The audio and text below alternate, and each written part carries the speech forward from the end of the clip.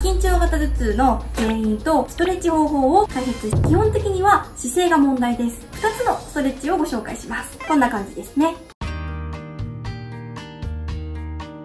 噂のカンナの取り替えです。日本人の頭痛の中で最も多いのが緊張型頭痛です。なので今回は緊張型頭痛の原因とストレッチ方法を解説していきたいと思います。緊張型頭痛とは頭の後ろから首、肩や背中が緊張して起こる頭痛です。15歳以上の日本人の5人に1人が悩まされていると言われています。後頭部を中心に頭の後ろから首筋にかけて起こり、頭をバンドで締め付けられているような痛みと表現されることが多いです。緊張型頭痛は男性よりも女性の方が1.5倍程度多い割合で生じ、ストレスが大きく変わっているため、やはり働き盛りの年齢の患者様が多いです。緊張型頭痛の一番の要因というのはストレスと言われています。例えば、長時間、パソコンやスマホなど、うつむいた姿勢が長く続いてしまうと、首や肩の筋肉や頭部の筋肉が緊張し、血流が悪くなります。その結果、筋肉が硬くなり、筋肉が疲労し、神経を刺激、圧迫してしまうせいで、痛みが生じると言われています。女性の場合だと、バッグを肩にかけるなどの特定の姿勢で発症する場合もあります。今お話ししたことがストレスを感じると同じように起こってしまうんです。ちょっとしたストレスを感じるだけでもこういった症状が現れてしまいますので、やっぱりストレスって怖いですね。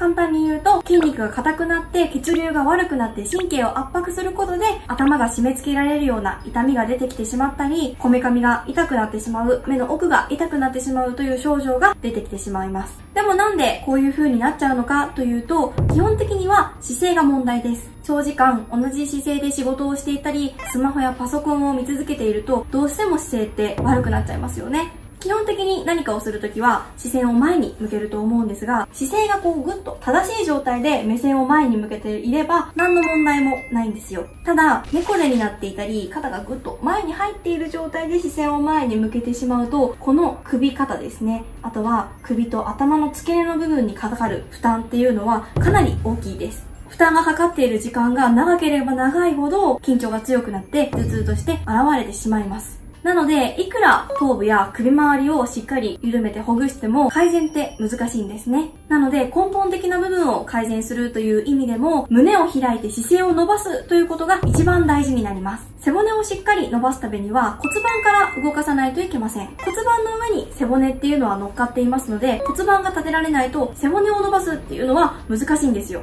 骨盤を立てるためには、太ももの裏の筋肉を柔らかく緩めてあげることと、背骨の柔軟性を出してあげることが重要になります。なので今回は2つのストレッチをご紹介します。